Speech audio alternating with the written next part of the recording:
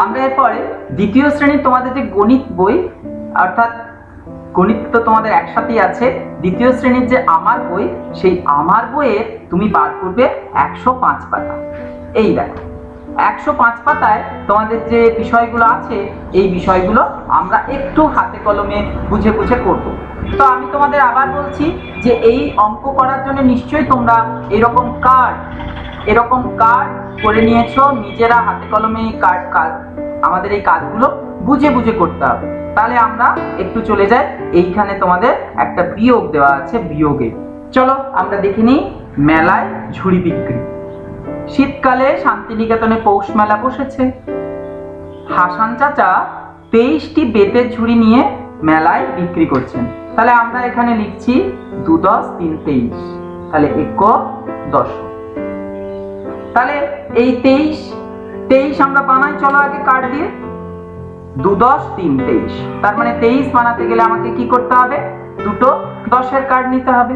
এই যে দু দশ আর তার সঙ্গে তিনটে একের কার্ড এই যে আমি তেইশ বানিয়ে ফেলেছি, দেখো।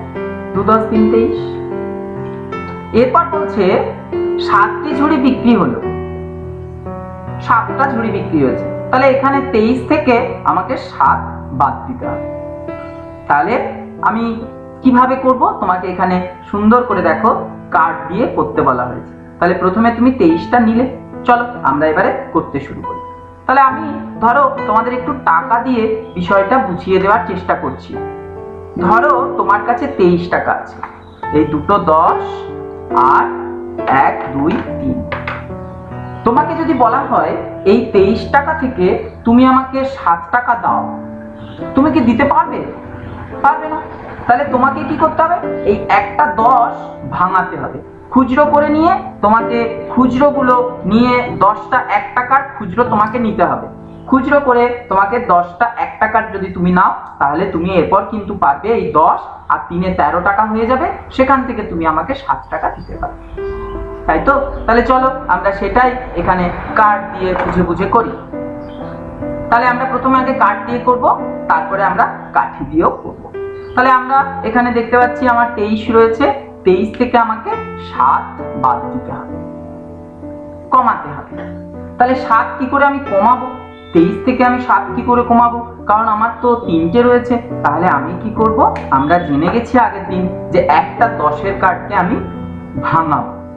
একটা দশের কার্ডের বদলে আমি পাবো কটা একের কার্ড দশটা। তাহলে এইটার বদলে আমি পাবো এক, দুই, তিন, চার, পাঁচ, ছয়, সাত, আট, নয় এবং দশ। তাহলে এই এই দশটা আমি সরিয়ে দিলাম। এরপরে আমার এখন হয়ে গেল দশটা একের কার্ড আমি পেলাম। তাহলে আমার এখন মোট একের কার্ড কটা হলো? কটা হলো? তাহলে এখানে ছিল তিনটে। আর আমি এই যে একটা দশ, তার মানে আমি এটাকে কাটবো, দিয়ে এখানে লিখব আমার একটা দশ পড়ে আছে। তার মানে আমি ধার নিচ্ছি। তাহলে ধার নিয়ে আমার দশটা এলো, আর আগে ছিল, এখন আমার দশটা এলো, আর আগে ছিল তিনটে। এই যে দশ আর তিনে আমার কত হয়ে গেল? এই যে দশ, দশের পর আমি গুনতে শুরু করি এগারো, বারো এবং তেরো। তাহলে আমার হয়ে গেল এক দশ তিন তেরো। তাহলে এরপর দেখো, তুমি এই তোমার তিন ছিল, এখন তিনটে এক ছিল, তোমার এখন তেরোটা এক, তোমার দুটো দশ ছিল, এখন একটা দশ। এরপরে তুমি বিয়োগ করতে পারবে। সাতটা বাদ দাও। এক, দুই, তিন, চার, পাঁচ, ছয়, সাত। ব্যাস, এই তো দেখো, সাতটা বাদ দিয়ে দিলাম। তাহলে আমার কটা পড়ে রইল? দেখে নি এক, দুই তিন, চার, পাঁচ, ছ। তাহলে আমি দেখতে পেলাম আমার এক পড়ে আছে ছটা আর দশ পড়ে আছে একটা।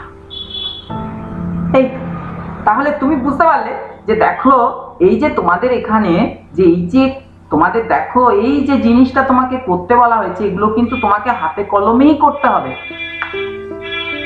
আবার বলছি, এই কার্ড বানানোর জন্যে কিচ্ছু না, তোমার দরকার এরকম পুরনো কিছু কার্ড এই যে কি কিছু কাগজ? এটা তো তোমার এগুলো তো তোমার ঘরের কাছে আছে। তুমি যদি এখনও না বানিয়েছো, আজই বানিয়ে ফেলো। এই কার্ডগুলো বানিয়ে তুমি যদি অঙ্কগুলো করো, দেখবে অঙ্কগুলো জলের মতো সোজা। খুব সোজা। আমাদেরকে কিন্তু অঙ্কগুলো এভাবেই করতে হবে। তুমি একদম হাতে কলমে করতে হবে। তুমি চোখের সামনে গল্পের মতো দেখতে পাবে। ঠিক, তাহলে দেখো, আমরা দেখতে পেলাম আমার ষোলোটা রয়েছে। এই দেখো। তাহলে চলো, এরপর আমরা এগুলো একটু আরেকটু আমরা বুঝে নিই। চলো, আমরা এবার এই অঙ্কটা করব কাঠি দিয়ে। তাহলে আমরা জানি যে এগুলো আমার দশের গুচ্ছ, আমার দশ দশ করে আছে হ্যাঁ? তাহলে আমাকে নিতে হবে তেইশটা। তাহলে দু দশ তিন তেইশ নিলাম। তাহলে আবার আমি করছি, দেখো। দু দশ তিন তেইশ, এবার তেইশ থেকে আমাকে সাতটা বাদ দিতে হবে। আমি দেখতে পাচ্ছি এখানে সাতটা নেই। সাতটা আমি পাচ্ছি না। কি করে পাবো? আমার কাছে তিনটা আছে। তাহলে আমি কি করব? এই যে গুচ্ছটা, এটাকে আমি ভেঙে ফেলব। এটাকে আমি ভেঙে ফেলব। তাহলে এই গুচ্ছটাকে ভেঙে ফেললাম। আমি পেয়ে গেলাম এক, দুই, তিন, চার, পাঁচ, ছয়, সাত, আট, দশ। তাহলে আমি গুচ্ছটাকে ভেঙে ফেললাম এবং গুচ্ছটাকে ভেঙে ফেলতে আমি পেয়ে গেলাম দশটা। তাহলে আমার এখন কাঠ কাঠি হয়ে গেল দশ আর তিনে তেরোটা। তাহলে আমি তেরো থেকে এবারে সাত বিয়োগ করব। তাহলে দেখো, এই যে এক, দুই, তিন চার, পাঁচ, ছয়, সাত। তাহলে আমার পড়ে রইল এক, দুই, তিন, চার, পাঁচ, ছয় এবং এক, দশ, ছয়। তাহলে দেখতে পাচ্ছ, বিয়োগের মতো সোজা জিনিস আর নেই।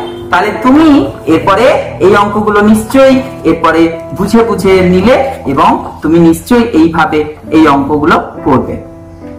তাহলে চলো, আমরা এই তোমাদের যে আরেকটা করি, এই শেষের এই বিয়োগটা করছি তোমাদের এই বিয়োগের অঙ্কগুলো। করছি, এই বিয়োগের শেষের অঙ্কটা করি তিরিশ থেকে ছয় বাদ দেওয়া। তার মানে আমি প্রথমে কাঠ দিয়ে করব, তারপরে কাঠি দিয়ে করব। তোমরাও কিন্তু আমার সাথে সাথে করবে।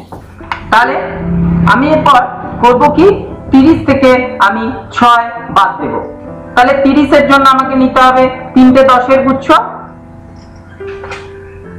তিনটে দশের গুচ্ছ আমি নিলাম।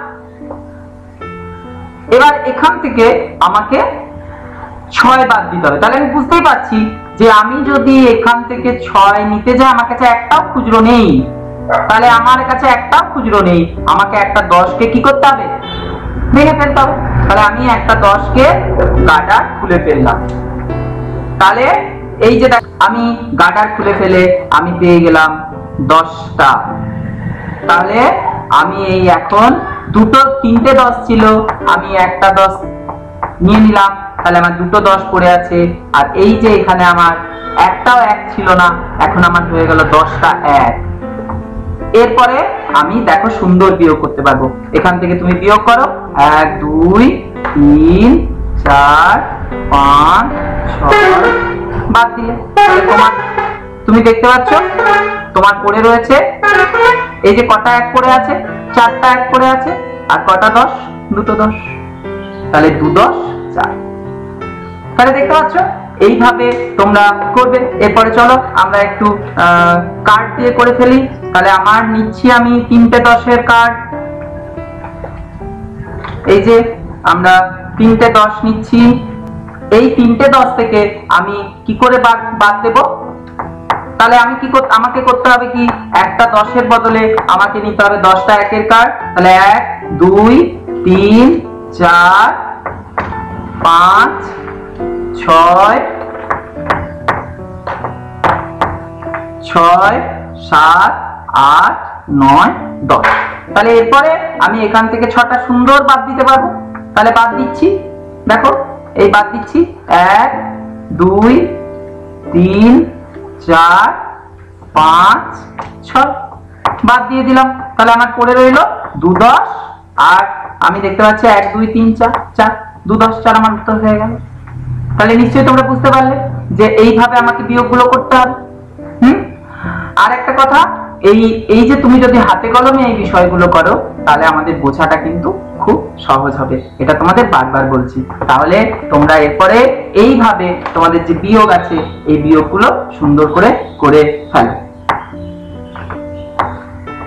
তাহলে চলো, আমাদের এরপর দেখা হচ্ছে পরের ক্লাসে